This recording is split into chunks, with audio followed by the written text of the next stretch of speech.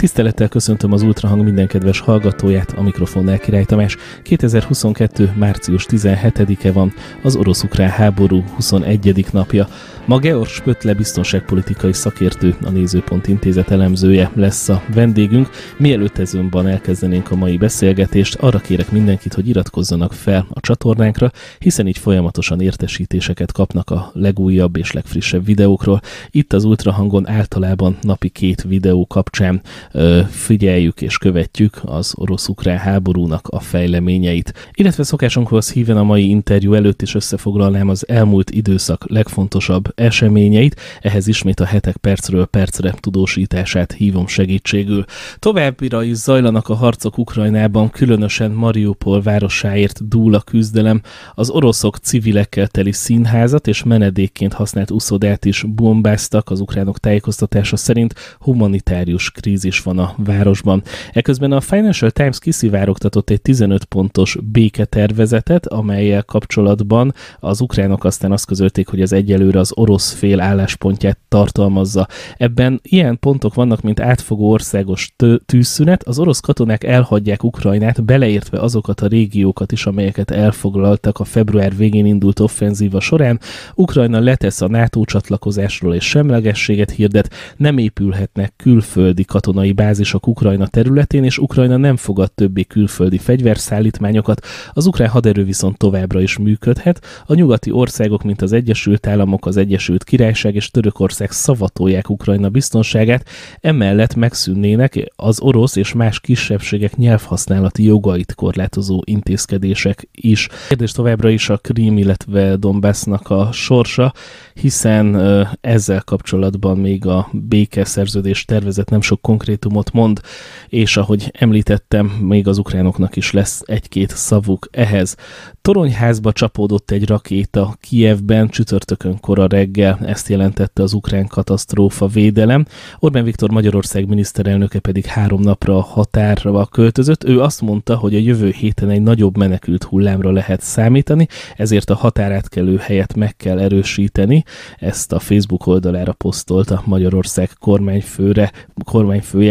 A Nemzetközi Bíróság a háború leállítására szólította fel Oroszországot. Hágából azt az üzenetet kapták, hogy Oroszországnak biztosítania kell, hogy az ellenőrzése alatt álló vagy általa támogatott más katonai erők se folytassák a hadműveletet.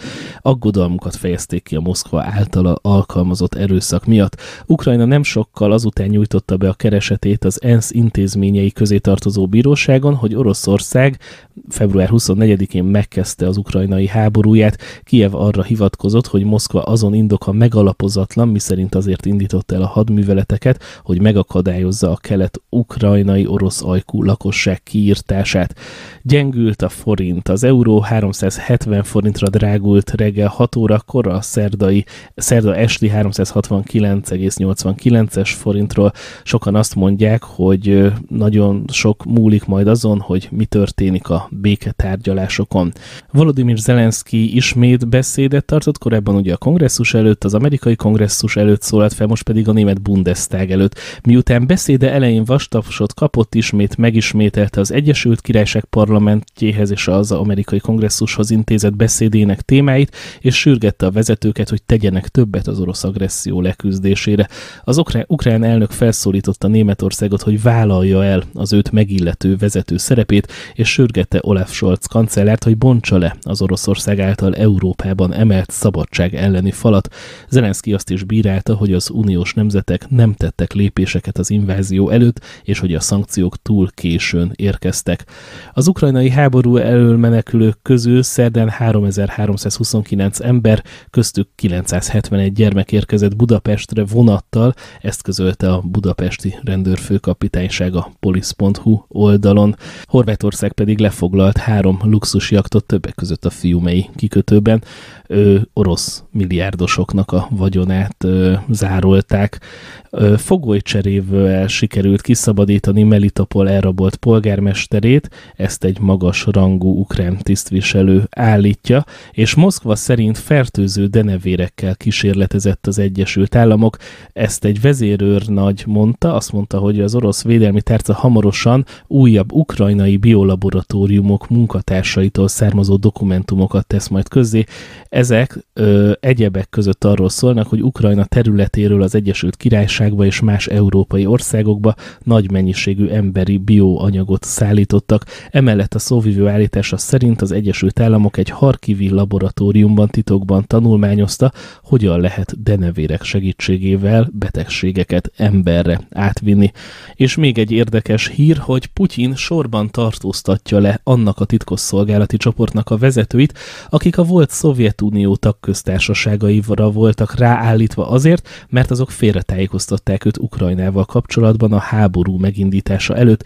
Ezt az egyik orosz hírpoltál, a Meduza adta hírül, oknyomozó újságírók beszámolói alapján. Itt tartunk most, és akkor most jöjjön az interjú. A vonalban pedig Georg Spötle biztonságpolitikai szakértő, a Nézőpont Intézet elemzője. Szervusz, köszöntünk itt a műsorban. Szervusz, üdvözlek és szeretettel köszöntöm minden hallgatónkat. Az orosz-ukrán háború 21. napján tartunk, és a Financial Times kihozott egy olyan értesülést, miszerint a két fél között akár megegyezés is lehet. Ebben egészen konkrét pontok vannak, hogy mit kellene teljesítenie akár az oroszoknak, akár az ukránoknak. Ez azért ugye egyelőre egy sajtóértesülés. Te mennyire látsz arra tényleg tényleges esélyt, hogy a két fél között belátható időn belül megegyezés születhet, fegyverszünet történhet, vagy akár békét köthetnek egymással? Óvatos optimizmust olvasok most így a nemzetközi sajtóba is, tehát mind a német, mind az amerikai, mind a magyar sajtó azt mondta, hogy közelednek az érdekek. Értelemszerűen az nagyon sokat segített, hogy Zelenszky ukrán elnök megmondta, hogy nem akarnak a NATO-hoz csatlakozni. Persze én azt mondom, hogy egy nagyon gyors megállapodásba én még azért annyira nem bíznék, mert azért Oroszország is ugye egy olyan pozícióból szeretne majd tárgyalni, hogy ő jöjjön ki most idézőjelben éve győztesen ebből a dologból, tehát erőpozícióból, és ahogy látjuk azért ő nagyon nagy területeket elfoglalt, például ugye az egész Luhanszki medencét. Összekötötte egy folyosóval a Krímfél-szigetet, az hát úgymond szakadár részekkel, ugye a Luhanszki és Donetszki népköztársaságokkal, igazából izolálta az Azovi tenger partját, tehát elzárta az Azovi tengerhez való kiáratot az ukránoktól, és el tudom képzelni, hogy azért ott vannak a nagy kikötők, ott van ugye Kerston, ott van Mariupol, tehát ő ezeket, meg Donetsket, ezeket a nagyvárosokat igazából most már uralja, és engedményeket tud majd tenni, de értelemszerűen itt majd az ukránoknak is kell engedményeket tenni, és szerintem fő cél lehet az is, hogy Zelenszky elnök elmozdítása és új választások kiírása. Lehet még reális cél Zelenszky leváltása? Sokan azt mondták, hogy ez majd egy villámháború lesz, az ukrán kormányt eltávolítják, egy orosz barát kormány jön létre, akik majd teljesítik az orosz követeléseket, tehát hogy Ukrajna ne legyen NATO tag, a Krím, illetve a kelet-ukrajnai területeknek a függetlensége, amely amely akár önálló autonómiaként, akár az Orosz Föderáció részeként valósulna meg, és akkor itt véget ér a háború, csak hogy erre mondják egyesek, hogy ö, Putyin elszámolta magát, a titkosszolgálatának a vezetői félretájékoztatták, az ukránok jóval nagyobb erőt fejtenek ki, jóval fegyelmezettebbek, mint azt várták. A másik narratíva az, hogy ö, minden a terv szerint halad, és Putyin tudatosan törekszik arra, hogy ne legyen nagyon durva ö, szőnyegbombázás, ne legyen tömeges civil áldozat, nyilván így is vannak civil áldozatok, de azért lehetne ez sokkal brutálisabb mértékű, pontosan pontosan azért, hogy a nemzetközi közvélemény előtt azért ne ássák el végképp magukat, illetve hogy a tárgyalások során megfelelő alkupozíciókat harcoljanak ki. Szóval ennek függvényében kérdezem, hogy mennyire reális még Zelenszky eltávolításának a kérdése, és szerinted az előbb felsorolt narratívák közül melyik az igaz? Azt hiszem, hogy Zelenszkyben nem bízik Putyin elnök, mert Zelenszky azért a múltban is megmutatta, hogy igazából Sutyiban NATO csatlakozásra készült, rengeteg fegyvert kapott, meg vásárolt az Egyesült Államoktól. Ugye modern fegyverekről van szó, lehet is látni például, hogy milyen sok harckocsit sikerült megsemmisíteniük, mind amerikai Javelin típusú tankelhárítókkal, ezek ilyen váról indítható kisebb rakéták, amik 4 km távolságig nagyon hatékonyak a harckocsik ellen, egy infravörös célzással befogják a harckocsit, kilövi a rakétát, azután a célra talál, tehát rögtön fedezékbe vonulhat a katona, tehát biztonságban kivárhatja azt, hogy a harckocsi elpusztuljon. Ez egy ilyen 75 cm-es páncélzatig egy nagyon effektív fegyver, tehát ebből kaptak ők több ezer darabot, ugyanúgy, mint ahogy a német német harmadik típusú Panzerfausttól, ez is egy nagyon modern váról indítható páncéltörő eszköz, de ugyanúgy kézilő fegyvereket kaptak, muníciót, most bejelentette a mai nap az Egyesült Államok, hogy úgynevezett kamikaze drónokat fog neki küldeni, ezek olyan drónok, amik rárepülnek a célra, valóban, mint régen a kamikaze a Mitsubishi Zero repülőkkel, és felrobbannak. Tehát ezek is nagyon csúnya pusztítást tudnak végezni, mind járművek, mind pedig gyalogság ellen és a biztosítékot az verte ki valóban Putyin elnöknél, amikor Zelenszky azt mondta, hogy nukleáris fegyverek előállítására törekszik az orosz fenyegetés ellen. Tehát ekkor történt meg az, hogy, hogy Oroszország lépett, és nyilvánvalóan soha nem fog abba beleegyezni, hogy Ukrajna sem NATO tag legyen, mert ugye szeretné egy pufferzónát Moszkva azért a NATO és, és saját maga között, ugye ezt a cél szolgálná Ukrajna valamint abba se fog belemenni, hogy egy atombombát állítson elő. Tehát nyilvánvalóan azért nagyon komoly követelései lesznek Moszkvának azért, hogy adott esetben területeket adjon vissza, és visszavonja a csapatait. De azt mondom, hogy ez meg is történik, lényeg az, hogy a Donetszki meg a Luhanszki népköztársaságok azok elmentek, tehát nagy valószínűséggel azokat Ukrajna nem kapja vissza, mint azt a földcsávot sem, hogy ami összeköti majd a Krímfélszigetet Krímfélszigetet a, a, ezekkel a szakadált területekkel. Akkor elmondhatjuk, hogy tulajdonképpen Putyin addig megy, amíg ezek a célok nem teljesülnek. Azt látjuk, hogy az Ukrajna NATO tagságával kapcsolatban már bejelentették, hogy akkor nem lesznek NATO tagok. A Krímről és a kelet-ukrajnai területekről egyelőre ö, nem igazán nyilatkoznak az ukránok, legalábbis én nem olvastam, hogy akkor azzal mit kezdenének. Ö, szerinted Putyin elmegy a falig, hogy ezek valóban vagy független, vagy orosz fennhatóságú területek legyenek? Nyilván ő már elment a falig, tehát ő már ebből csak úgy tud igazából jól kijönni, tehát egy úgymond win-win szituáció mind a két félnek, hogyha meg tudnak állapodni arról, hogy milyen területekről kell Ukrajnának lemondani, milyen politikai lépésekről, mint ugye a NATO meg az Európai Unióhoz való csatlakozás, és Szerinted az Európai lehet... Uniós csatlakozás is ugyanilyen feltétel? Ugye az EU az elvileg nem katonai szövetség. Hát nem katonai szövetség, de azért nagyon-nagyon bekötni Nyugat-Európa fele Ukrajnát tehát rendkívüli mértékben. Én el tudom képzelni, hogy még abba esetleg Putyin menne, hogyha lenne egy olyan kijelentés, amik az elkövetkezendő tíz évben nem csatlakozik Ukrajna az Európai Unióhoz, de jelen pillanatban ugye egy háború sújtotta országról beszélünk, aminek az infrastruktúrája nagy rész megsemmisült.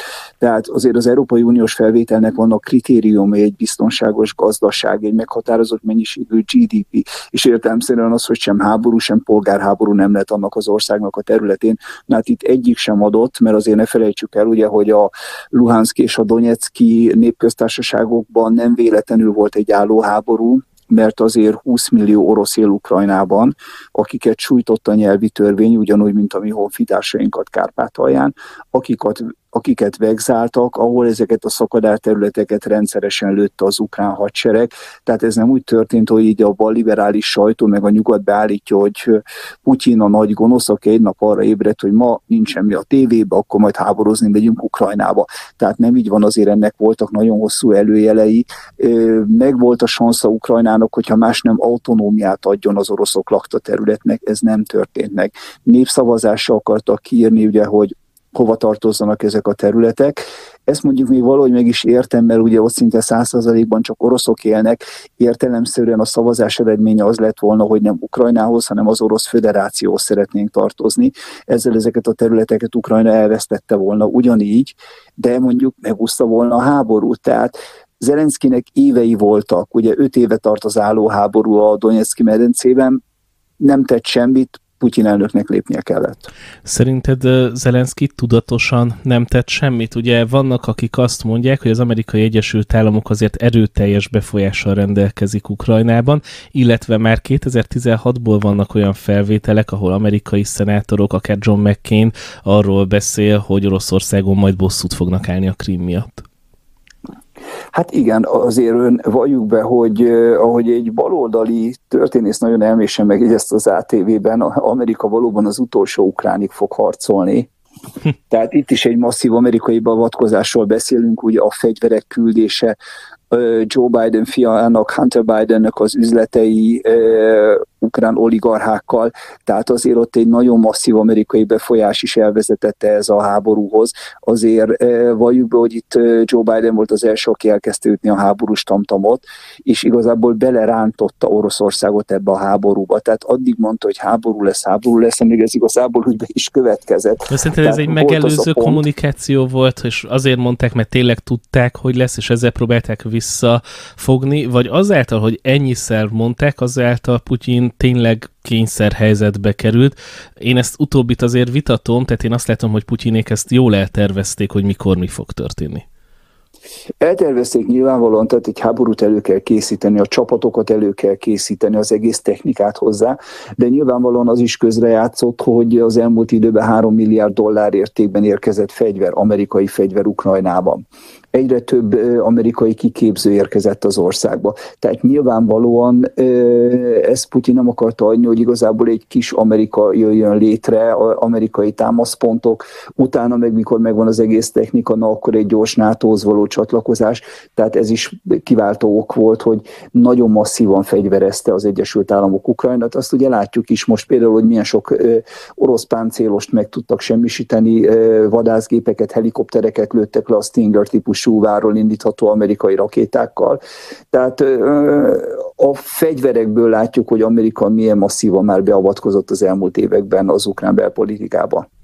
Látom azt a saját hallgatóinknál, kommentelőink sokasságánál is, hogy azért nem fekete-fehéren látják a helyzetet, és nem feltétlenül veszik át azt a narratívát, hogy Oroszország a gonosz agresszor és Ukrajna a szegény áldozat.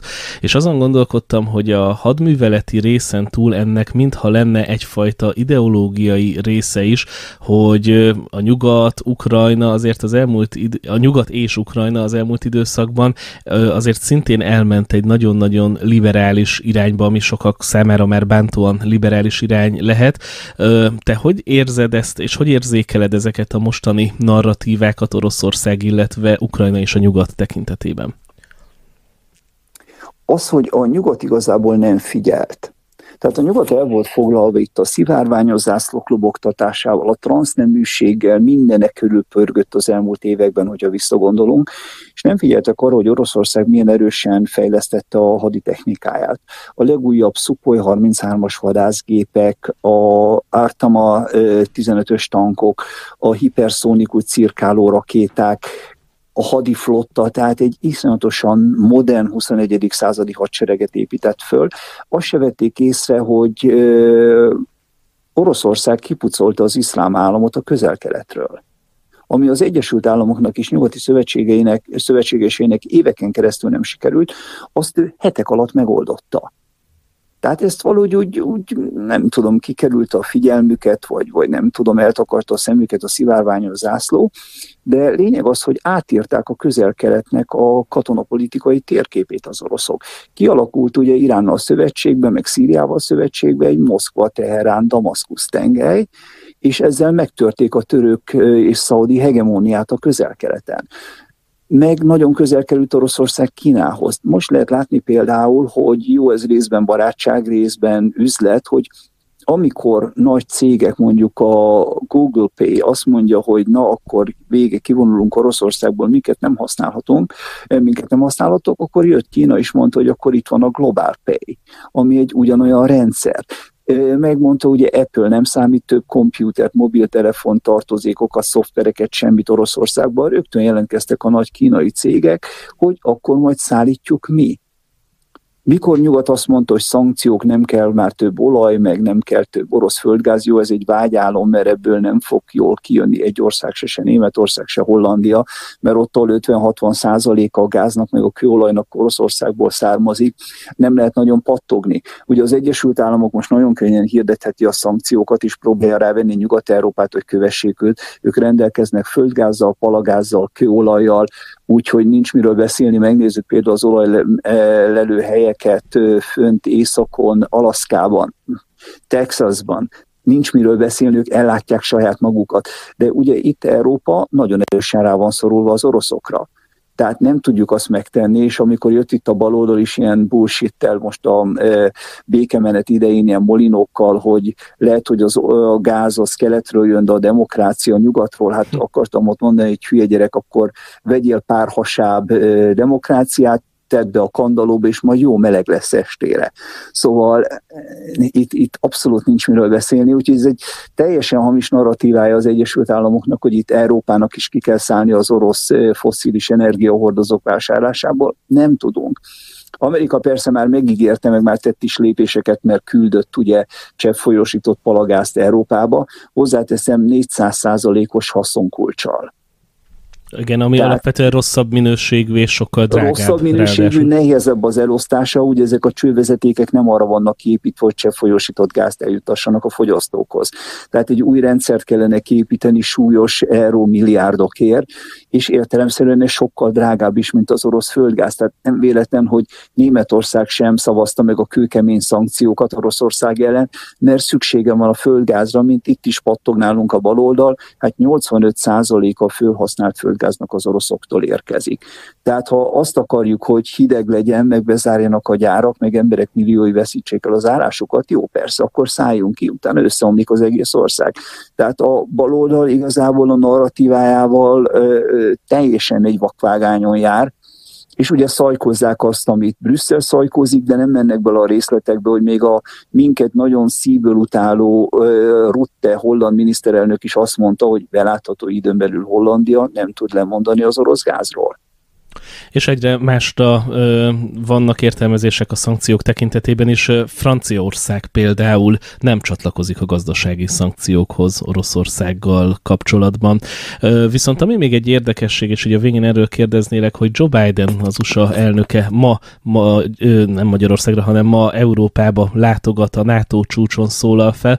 Te hogy látod, lehet-e nyugati részről fordulat egyáltalán Joe Bidennek most milyen érdekei vannak, mit fog ő diktálni?